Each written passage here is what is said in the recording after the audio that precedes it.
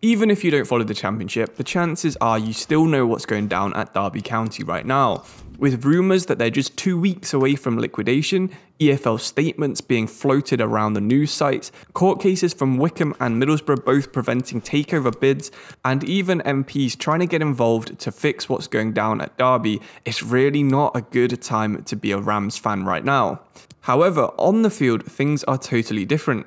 Despite having a 21 point deduction at the start of the season, they actually find themselves in 23rd, so not even in last place. A lot of this is thanks to their recent run of form. In the last five games, they got four wins and one draw, which is the best in the entire championship. Their squad does look poor on paper, but it is actually full of very good championship level players. People like Tom Lawrence, despite his history, is a really good player for the level. Curtis Davies has been effective for years and years. And then this squad also has young players like Sibley, Bird, Buchanan, and Knight, who are all going to have potential to be Premier League level players in the future. So if Derby really can survive this short term pain, they do have a lot of long term strengths. So I'm sure you can see that this would be a really, really interesting and fun career mode. Maybe not one that I'd do myself as a Nottingham Forest fan, However, I think if you did try and impersonate Rooney, try and rebuild the Rams and get them back to the Premier League for the first time since their 11 point season in 2008, then you would have a really good career mode and you'd be set up for a nice long term one too.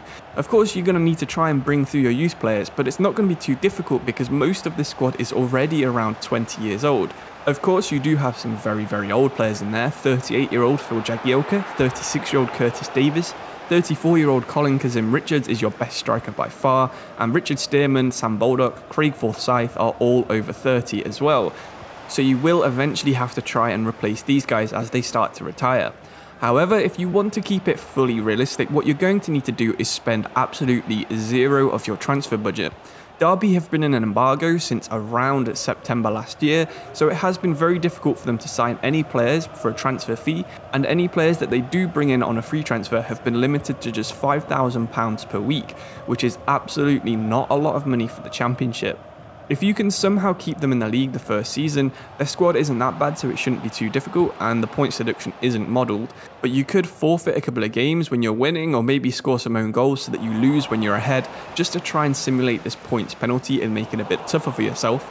But still, never use your transfer budget, sign very, very cheap players, and bring through youth. If you do choose to recreate Wayne Rooney as your manager, then of course his links to Manchester United and Everton are both going to give you some fun players on loan and also give you a nice bit of role play if you ever get bored of playing as Derby. If you can somehow successfully rebuild Derby and get to the Premier League, then I'm sure Manchester United would be very interested in having him as manager, and he might see himself as the successor to Alex Ferguson. Similarly, if you go to Everton, maybe you can try and recreate the successes of Howard Kendall in the 80s.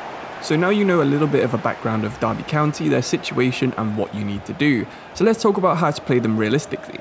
The biggest problem with Derby at the moment, of course, is the financial issues that we mentioned before.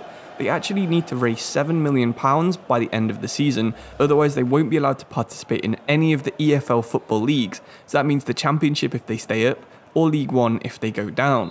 On FIFA, it might not be too difficult to actually raise this 7 million. I think it's something you probably should try and do first season just to keep it a little bit realistic, but you do have some players that are worth quite a lot of money. Bielik is very injury prone, he's done his cruciate ligaments twice now I believe, he's worth 5 million euros. Max Bird 3.3, Jason Knight 3, Josiek Sibley around 2.5 and same for Buchanan. So if you really want to raise this 7 million euros, 7 million pounds, then it's going to be pretty easy, you just need to sell 2 or 3 of your better young players. Derby County, alongside their East Midlands rivals Leicester City and Nottingham Forest, all have Tier 1 academies, which is the highest level of youth academy you can have in England. However, if the financial situation does get a bit worse, you can see Derby downgrading and quite a lot of their younger players going to one of these two rival teams. So, if you want to try and simulate this realistically on FIFA, maybe have good youth scouts to start off with, the ones you start with, but then after one or two seasons, downgrade these youth scouts that you're getting worse players coming through your youth academy wait a couple of seasons and then go back and buy better ones to simulate that the board maybe has taken over and started funding the Youth Academy a bit better again.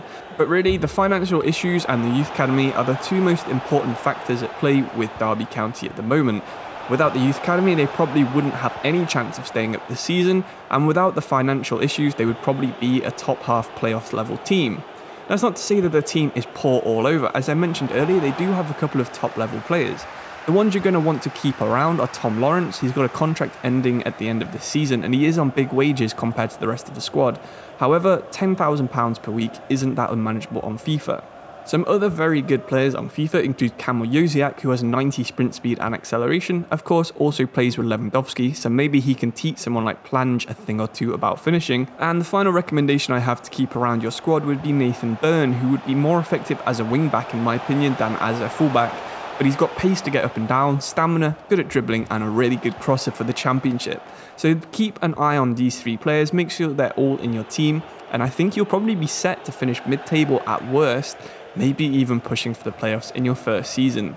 Derby's team is around the 14th best in the league, so despite their financial issues not being simulated in the game, despite the fact that you haven't got the points deduction in game, you still will have a fairly challenging career mode and hopefully a very fun one. Thank you all for watching. Hopefully you've enjoyed this video. Like the video, subscribe, comment below if you're a Derby fan and you've got anything you want to say. And I'll see you all very soon for another video. Thank you and goodbye.